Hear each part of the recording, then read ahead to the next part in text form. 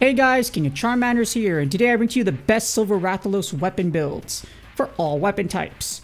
The Critical Element Meta. So this video features the best builds using the Silver Rathalos weapons. And Silver Rathalos weapons are the strongest fire element in the game.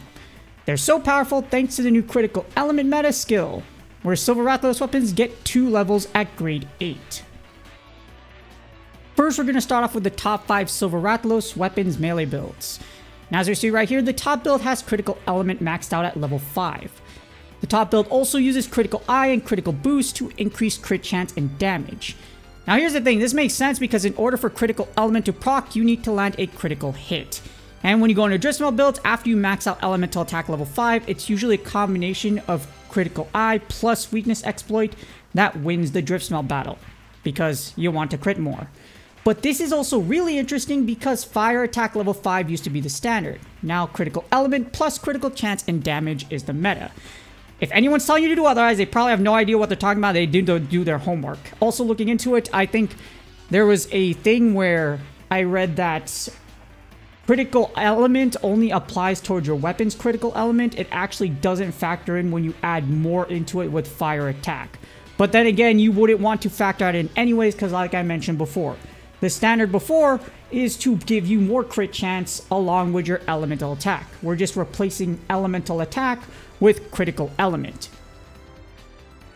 And this brings us to the best Silver Rathalos melee build, where this build maxed out critical element at level 5. And this build does the most theoretical practical damage overall at 4,740. Lock-on is also provided by the Carnival 2024 mail. You're going to need to use the Carnival 2024 mail Unfortunately, because it's the only thing in the body that does give you lock-on. You could replace it with Odogaron, but you lose lock-on. That's the problem. So, the Carnival 2024 mail, unfortunately, as it's actually not even expensive, to be honest. If you watch my video on building that thing, it's mad easy to build the Carnival 2024 mail to grade 8. So don't worry about it.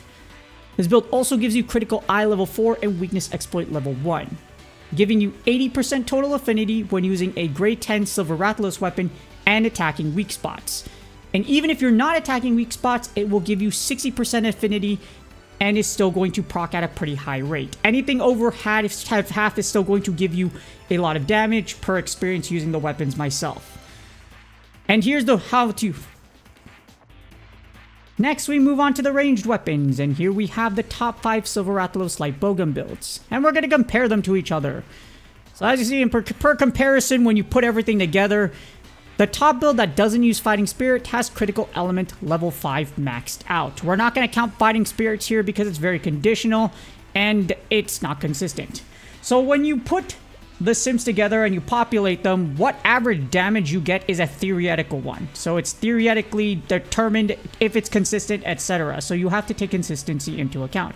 If it's Fighting Spirit and the monster attacks you a lot, you're probably not going to get a lot of hits in because you're going to dodge damage. So that means that is not going to be super consistent. Despite this, the data will still support that it's the highest damage, just because of all things considered. But in order to offset that, you need to make sure that you have something that's consistent, which is why we are using this one right here. It also has reload speed and recoil down maxed out to maximize DPS. And even from the top, it's not that bad. It's only 2.25 per 29% lower without using Fighting Spirit. And this brings us to the best Silver Rathalos Light Bowgun build. So this build maxed out critical element at level 5. And this build does the most theoretical practical damage without fighting spirit at 4812. In addition, this build is the most consistent and does the most damage without any other conditional requirements like fighting spirit. I already went over that, so I'm not going to go over it again. It also uses reload speed and recoil down level 3 to maximize your damage per second or DPS. This build also gives you 50% total affinity when using a Grade 10 Silver Rathalos weapon and attacking weak spots. And it will give you 30% affinity when you aren't attacking weak spots. To use this build for you light bowgun connoisseurs like myself, you need the Silver Rathalos light bowgun at grade 10 or higher, the Silver Rathalos helmet at grade 8, the Paolumu mail at grade 6, the Legiana Vambraces at grade 6, the Coral Pukei-Pukei Coil at grade 6, and the Silver Rathalos Greaves at grade 8. And last but not least, we have the top 5 Silver Rathalos bow builds. So here we compare the top 5 builds of the Silver Rathalos bow. And the top build uses latent power level 2. The top build that doesn't use latent power level 2 uses critical element at level 3. However, I put one in here so you saw the manual input, because yes, if you know how to use Monster Hunter Now.quest, you know how to input stuff manually.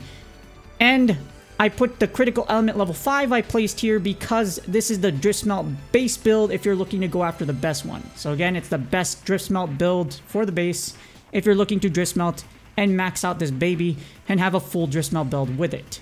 So I'm going to have three builds in here reflecting all three of these and you can decide which one you want to go after. Alright, first we're going to start off with the best Silver Rathalos bow, build number 1. And this build maxes out critical element at level 5. This build also does the most theoretical practical damage with latent power at 5779. However, this build requires latent power level 2 to activate to be consistent. And that's provided by the Silver Rathalos Vambraces at grade 6. So yeah, you're going to need 3 pieces of Silver Rathalos gear if you want to use this. And it also has focus level 5 thanks to Nightshade Paolumu Mail and Rajang Coil. However, here's a note. This is the most expensive build out of all the Silver Rathalos bow builds with 4 pieces requiring grade 8. So you need 4 pieces at grade 8. So unless you have someone that's really invested, well, that's me, and probably many of you as well if you're looking to go after this as the biggest one. But yeah, grade 8 is a, definitely a lot to ask for. But if you are willing to go after it, to use this build, you need the Silver Rathalos bow at grade 10 or higher, the Silver Rathalos helmet at grade 8, the Nightshade Paolumu Mail at grade 8, the Silver Rathalos Vambraces at grade 6, the Rajang Coil at grade 8, and the Silver Rathalos Greaves at grade 8. Next up, we have the best Silver Rathalos bow build number 2, and this build uses critical element at level 3, with the second most theoretical practical damage without latent power at 5670. So this one doesn't have a conditional skill. And if you really want to, since you're probably going to build it anyways, if you're watching this video and you want to go after this and you're playing the Monster Hunter Now Carnival Global event, you can use the Carnival 2024 mail in place of the Odogaron mail if you want to. However, you need it at grade 8, and the Odogaron mail only needs to be at grade 6. But ironically, the Carnival mail is actually cheaper than the Odogaron mail if you're looking at to build it for the first time. It also has focus level 5 thanks to the Nightshade Paolumu mail and Rajang Coil. Now this build gives you 65% total affinity when using a grade 10 Silver Rathalos weapon and attacking weak spots. It will also give you 45% affinity when you aren't attacking weak spots. If you want to use this build, you need the Silver Rathalos bow at grade 10 or higher, the Azure Rathalos helmet at grade 6, the Odogaron mail at grade 6, the Azure Rathalos Vambraces at grade 6, the Rajang Coil at grade 8, and the Silver Rathalos Greaves at grade 8. And now we have the last Silver Rathalos bow build at number 3, the best one, and this build maxes critical element to level 5. This build is barely weaker than the top build, 3.27 to be exact, and this build's theoretical practical damage is at 5,590, without any conditional skills like latent power.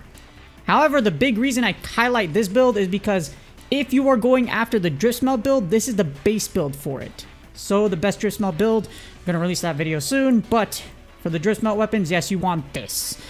And it is awkward because you're using critical boost, which is the Azure Rathalos Vambraces. But it, again, even if you're not using the fully powered one, 3.27 isn't going to make a magnificent difference if you're testing it out. I've tested both out, and honestly, if you're going for full drift melt, use this one. Don't worry about the whole, like, difference between 3.27%. For this build, you need the Silver Rathalos bow at grade 10 or higher, Silver Rathalos helmet at grade 8, the Nightshade Paolumu mail at grade 8, the Azure Rathalos Vambraces at grade 6, the Rajang Coil at grade 8, and the Silver Rathalos Greaves at grade 8.